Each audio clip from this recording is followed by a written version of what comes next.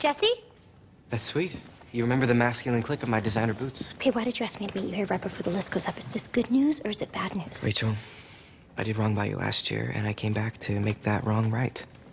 And I came here to tell you that you're going to be the featured soloist at Nationals in New York. Wait, wait. How do you know? Did Mr. Schuester tell you?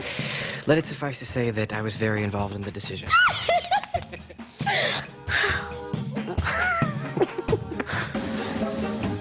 don't know. I, I feel bad. I've, everyone else worked so hard. Now they're just gonna hate me. They sort of already do.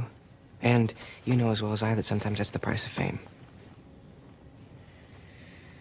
I used to think that fame was the only thing that mattered.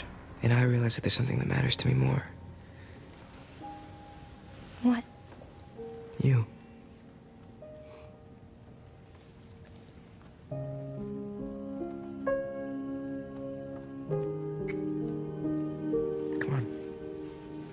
Think the list is posted.